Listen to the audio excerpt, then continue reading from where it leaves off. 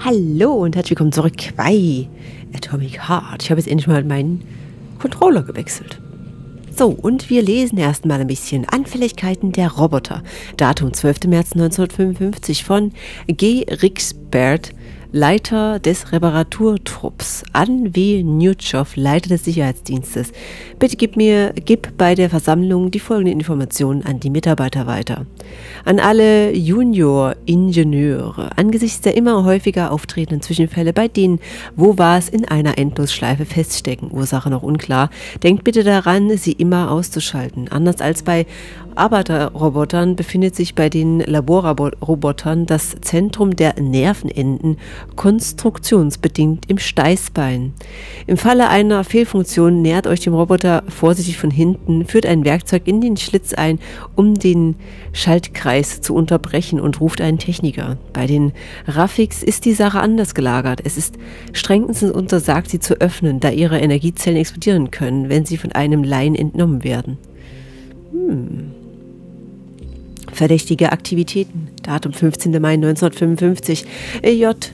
Mushtarev, stellvertretender Leiter des Sicherheitsdienstes, schreibt an W. Newjoff, Leiter des Sicherheitsdienstes. Streng geheim. Eine Ärztin, die erst seit kurzem im Komplex arbeitet, hat die Anzahl ihrer Visiten beim Gefangenen Petrov erhöht und ignoriert dafür häufig andere Gefangene. Ich beantrage die Genehmigung zur Verstärkung der externen Überwachung von Viktor Pedrov. Gefangene Nummer S230385, um mehr über dieses Treffen zu erfahren. Auszüge aus einem Bericht vom 8. Juni 1955, Zeugenbericht zu dem Gefangenen F451 Sozialwertung 1. Das glaube ich nicht. Petrov ist zwar ein Psycho, aber er ist kein Überläufer. Selbst wenn sie ihn dafür bezahlt haben, uns zu verraten und ihn rekrutiert haben, ist er, nun ja, er ist im Grunde wie ein Kind. Er will geliebt und respektiert werden. Er will, dass die Leute ihm sagen, dass er klug und brav ist. Hier wimmelt es nur so vor Genies. Da ist er einfach aus Eifersucht durchgedreht. Gewiss, er hätte schon Sabotage begehen können, aber nicht für amerikanisches Geld. Und wenn Geld geflossen ist, dann war das für ihn nur ein Vorwand. Er will Anerkennung. Und wenn er die als Wissenschaftler oder Ingenieur nicht bekommt, dann holt er sie sich eben auf andere Weise. Er will es in, in die Geschichtsbücher schaffen. Welche Geschichte? Tja, ich glaube, das steht aus der Liste, auf der Liste seiner Prioritäten relativ weit unten.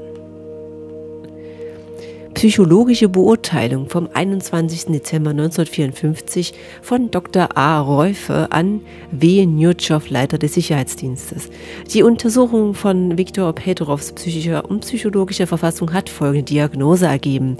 Ausgeprägter Narzissmus, schwere Depression basierend auf einem tiefsitzenden Minderwertigkeitskomplex, Komplex, Eifersucht basierend auf Ekohyperkompensation, Besessenheit von Bildern aus der Welt des Theaters und fanatisches Streben nach Anerkennung. Insgesamt kann Petrov nicht als berechnender Verräter angesehen werden.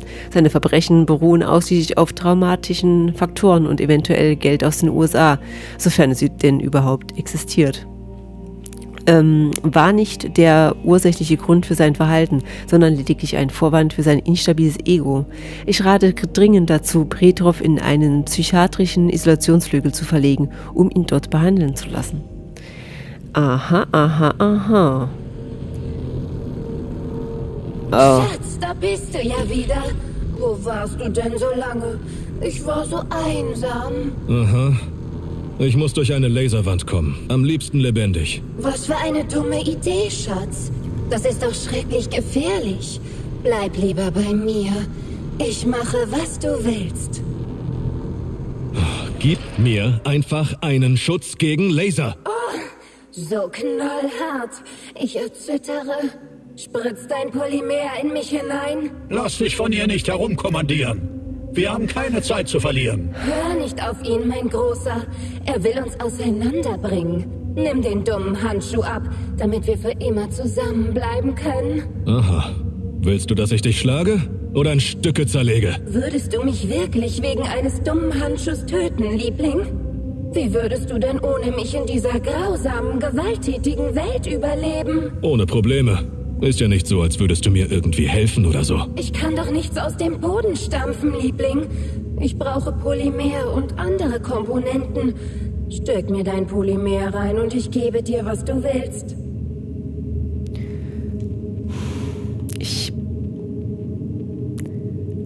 Noras Kuss. Für begrenzte Zeit bleibst du bei 1 TP, wenn du tödlichen Schaden erleidest. Nach dem Aufladen kann die Fähigkeit erneut eingesetzt werden. Na gut, schon verstanden. Du kriegst dein Polymer und deine kostbaren Komponenten. Jetzt installier endlich den Laserschutz. Was immer du sagst, mein Hengst. Verbesserung initiiert.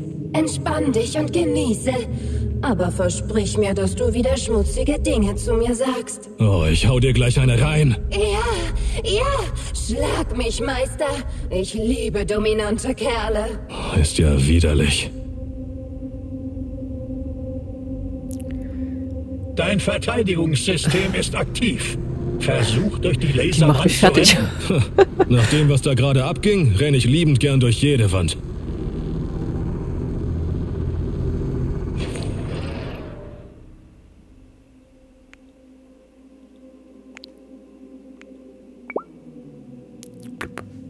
Blub, blub, blub. Mm, erhöht den Schaden.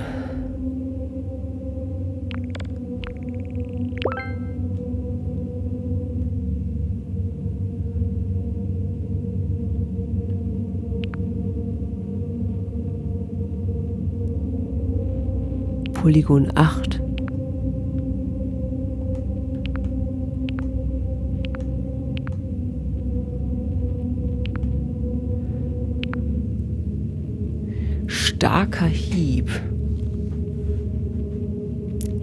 vorbereitet werden muss.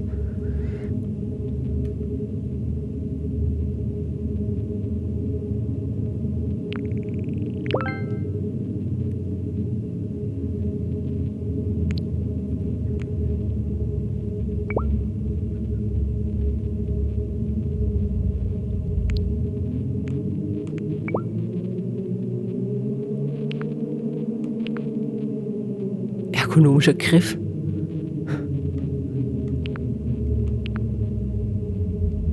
Haben wir nicht irgendwas gefunden gehabt für irgendwas?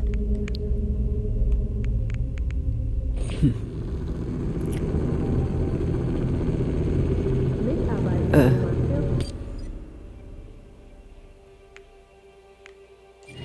Äh. Äh, bevor, bevor wir da loslaufen, ich, ich speichere mal ganz kurz.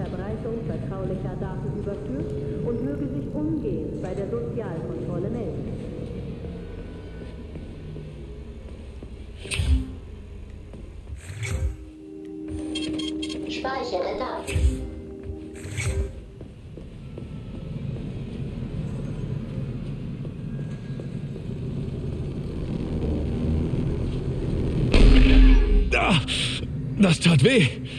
Oh, das war ganz schön heftig. Fast wäre es das gewesen. Betonung auf fast. Stimmt. Suchen wir den Verräter. Wenn ich den in die Finger kriege, reiß ich ihm den Kopf ab. Ich meine, also irgendwas reiß ich ihm ab, verdammt.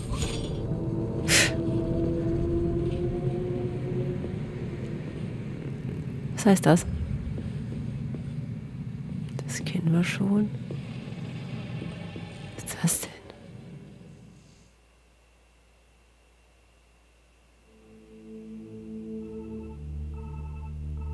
Dir gut? Ist alles bereit? Hast du es geschafft? Keine Sorge, Schatz. Mir geht es blendend. Die Operation war völlig schmerzlos. Gut, du musst jetzt gehen. Ein bewaffneter Mann ist hinter dir her. Er trägt einen experimentellen Polymerhandschuh.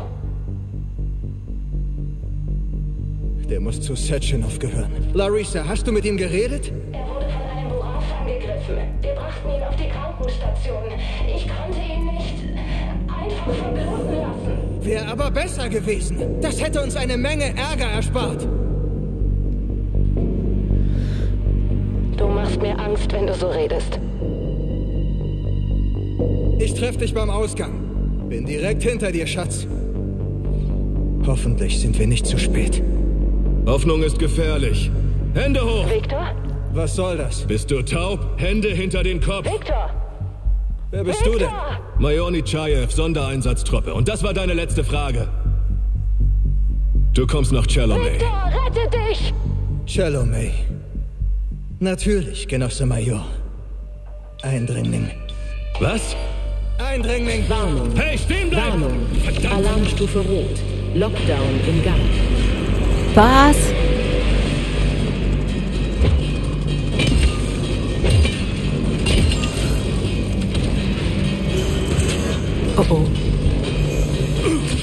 Oh.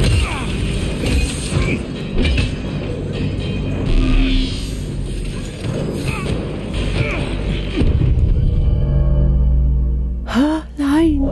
Okay, wir haben gespeichert, das ist nicht schlimm. Das ist also der Viktor. Ich habe irgendwie gedacht, der Viktor ist älter.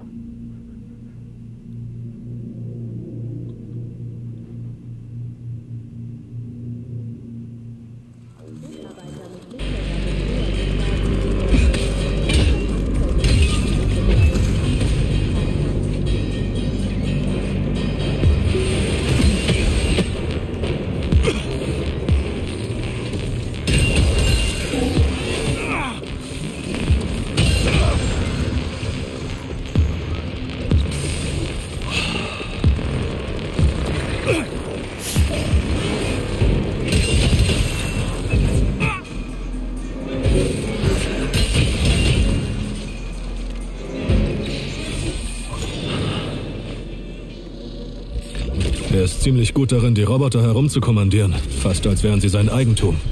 Und er hat die verdammte Tür abgeschlossen. Petrov ist mit einer mobilen Energiequelle namens Kerze weggelaufen.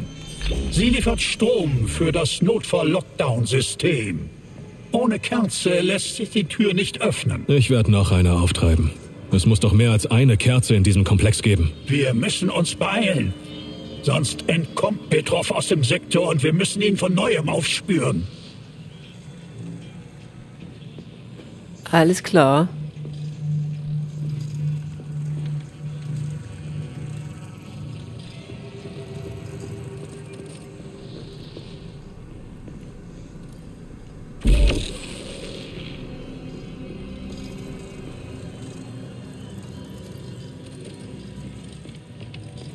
Wir sollen nach da oben.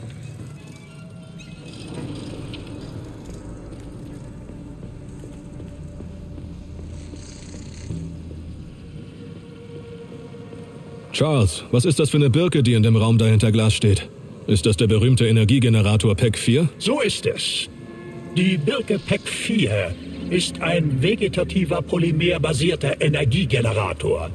Ein Versuchsmodell. Der erste Schritt in unserem Programm zur Eroberung der fernen Planeten des Sonnensystems.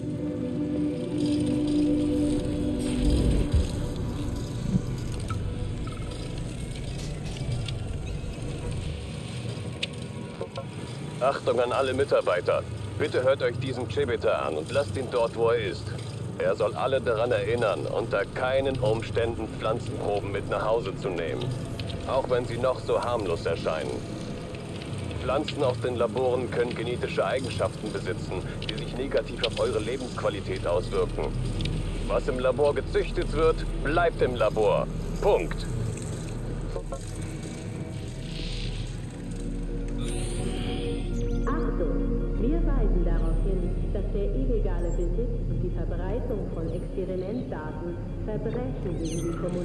Ich will da irgendwie durchlaufen.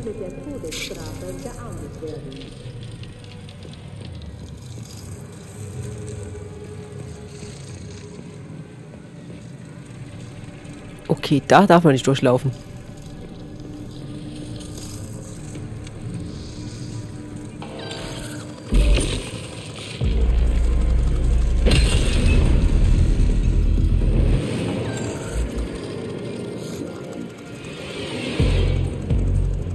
Kommen einfach neue raus. Was ist das? Nein, mach die Tür auf.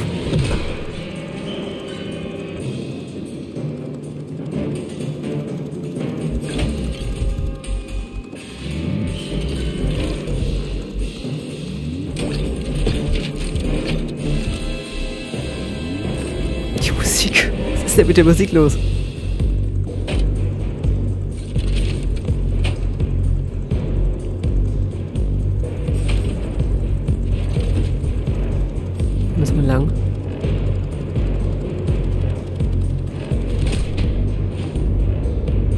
Tür zu. So. Wo Würste? Sie sind in der Wand. Kannst du sie nicht hören? Da trippeln sie herum. Ich fürchte mich. Ich fürchte mich vor ihnen. Du musst dich nicht fürchten, du bist tot. Vor wem? Den Robotern? Vor wem? Den Robotern? Nein, Roboter töten kurz und schmerzlos, aber sie... Sein verbleibender Polymerspeicher ist aufgebraucht, Genosse. Alles klar. Die Leute hier werden nicht von Robotern getötet. Aber wodurch dann? Das kann ich nicht ermitteln. Wir werden es wohl auch nie herausfinden. Verstanden. Sie sind in der Wand. Kannst du sie nicht hören? Da drüben. Du musst dich nicht fürchten. Du bist tot. Ich weiß, als ich noch am Leben war, sah ich, wie tote Leute wieder aufstanden. Ich will nicht, dass mir das passiert. Ich fürchte mich vor ihnen. Okay. Ich muss weiter. Haltet die Augen offen. Sie quälen sogar die Toten. Ich hab's selbst gesehen. So, was haben wir hier? Dies soll das einzige Eis zwischen uns sein. Stärke die Verteidigung der Sowjetunion. Wo ist das? Tod dem Imperial Imperialismus. Nein zur kapitalistischen Ausbeutung. Ohne Wissenschaft kein Brot. Die haben aber immer mal so andere Plakate hängen,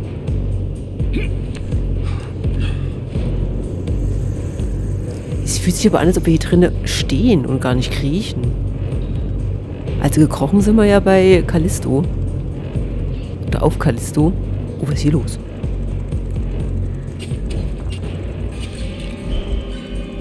Spiel gespeichert.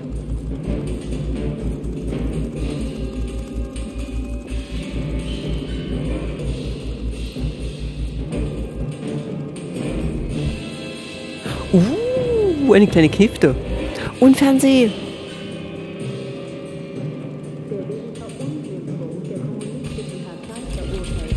Toll. Will Fernseh gucken.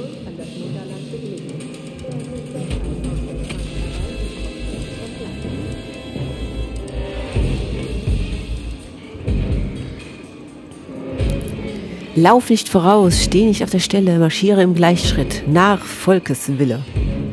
Okay. Wissenschaft ist das Rückgrat der Produktion.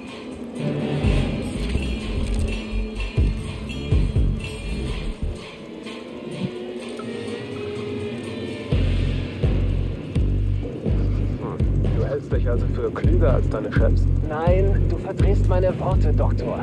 Ich habe nie gesagt, dass ich klüger bin als Sie. Du hast aber gesagt, Äh, ich habe gesagt, wenn ich dieselben Chancen und Ressourcen hätte wie Sie, würde ich ebenso viel erreichen können. Wenn nicht mehr. beneidest du Menschen wie Sechenov, Lebedev und Fidemonenko? Beneiden ist nicht das richtige Wort.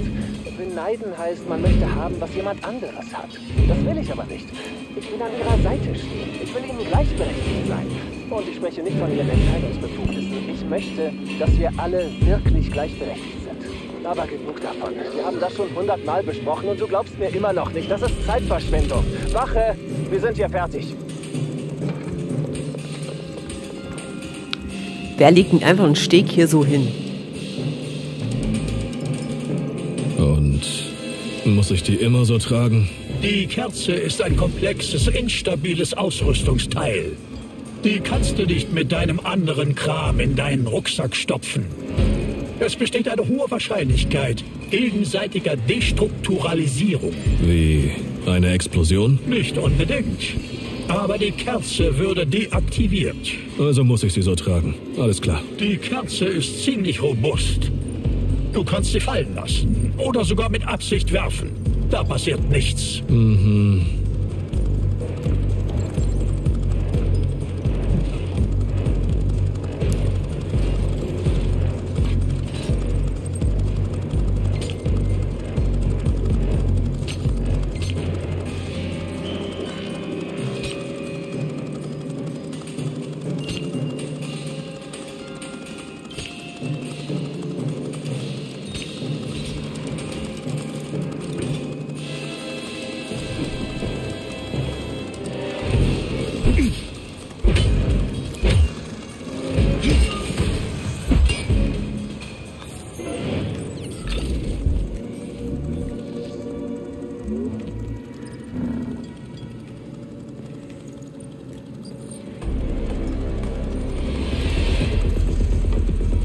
Nein, ich höre Dinge.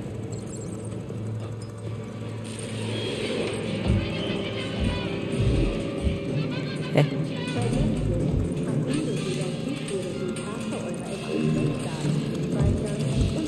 Geh durch die Tür. Wie denn? Diese Lader spielen verrückt. Ist das Petrovs Werk? Sei vorsichtig.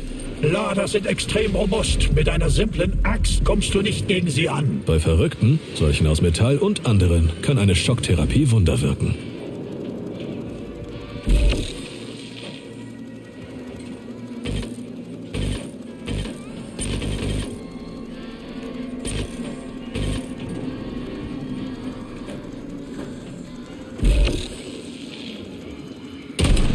Oh nein.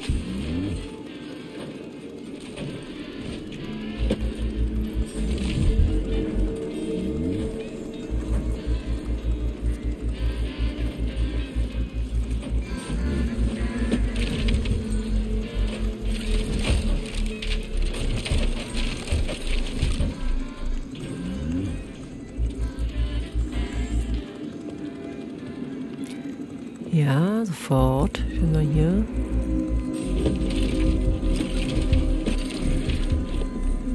Wo ist man da?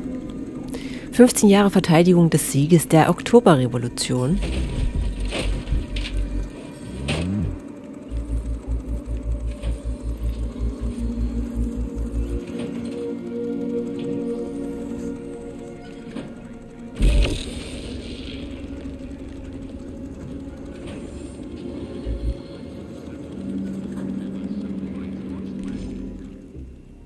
Auftrag erfüllt. Datum 18. Mai 1955 von W. Solotuchin, stellvertretender Leiter des Wawilov-Komplexes, an E. Scharchenko, Logistikleiter, Genosse Scharchenko. Wohin verschwinden all deine WoW A6-Roboter in solch großer Stückzahl. Ständig haben sie eine Fehlfunktion oder lösen sich schlicht in Luft auf. Es versteht sich von selbst, dass ich Kontakt zum Pavlov-Komplex aufgenommen habe. Sie werden uns noch einige Einheiten schicken. Mach deine Pelikan-Lader bereit. Die Lieferung trifft morgen ein. Und löse das Problem mit den verschwindenden Wovas. Behalte dein Ausrüstungsinventar im Auge. Du würdest gewarnt.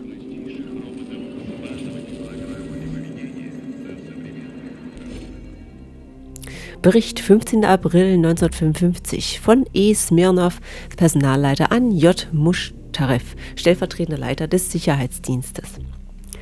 Bericht über die letzte routinemäßige psychologische Beurteilung im Wawilov-Komplex. Am 15. April 1955 wurde eine routinemäßige psychologische Beurteilung von 85 der 86 Junior-Mitarbeiter des Komplexes vorgenommen. Ein Mitarbeiter war nicht anwesend, Fjodor Lebedin. Juri, frag Fjodor bitte dann nach. Einerseits ist er ein guter Kerl, er hat im Krieg sein Bein verloren, dient dem Mutterland aber weiterhin so gut er kann. Andererseits erscheint er nie zu medizinischen Untersuchungen und ist generell antisozial. Wenn er trinkt oder Schwierigkeiten hat, müssen wir ihm helfen. Er ist schließlich Kriegsveteran. Oh, ich möchte nicht gegen einen Beinlosen kämpfen.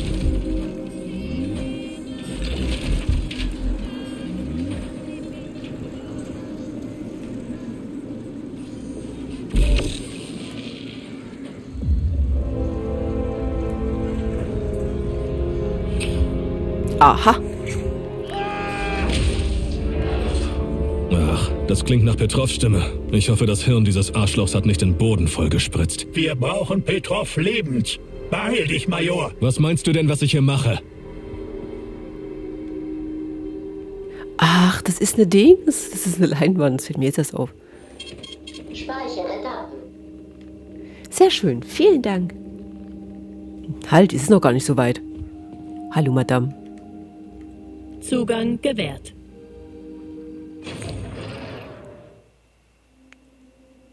Ohne Fuchs.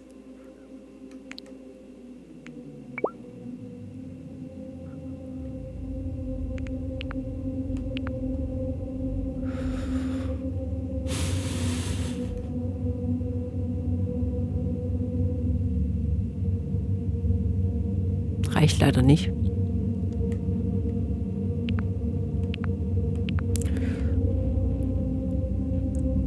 Leider, leider nein.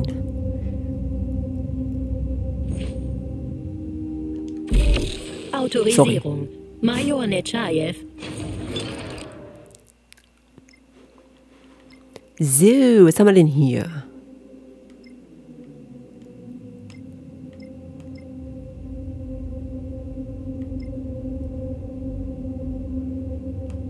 Schock. Gegner.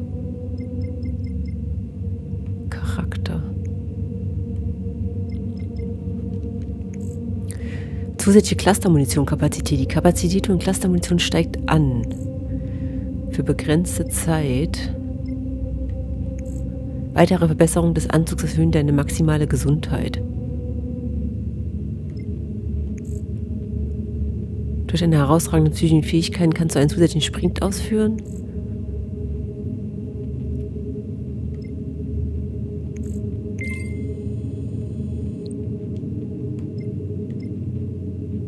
Wilder Eber.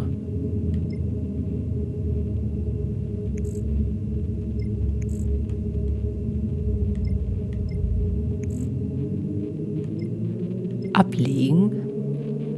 Die Kapazität von klar. Was ist das? Erhöht Anzug Schutz vor Laserangriffen. Durch deine herausragenden Fähigkeiten. Verbesserung der Kompressionsrate. Erhöhen Kapazität. Clustermunition. Ich weiß nicht, was das ist.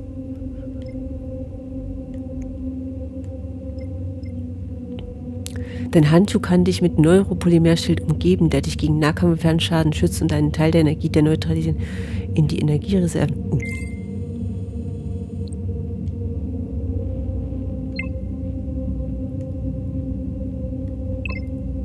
Interessant. Cool. Speichern. Wehre gegnerische Angriffe ab und führe sofort einen Konter aus. Ach du Gott. Oh Gott, Konter, wenn ich das schon lese. Aber jetzt vielen Dank, dass ihr dabei gewesen seid. Ich wünsche euch einen wunderbaren Abend. Bleibt gesund und bis morgen. Tschüss.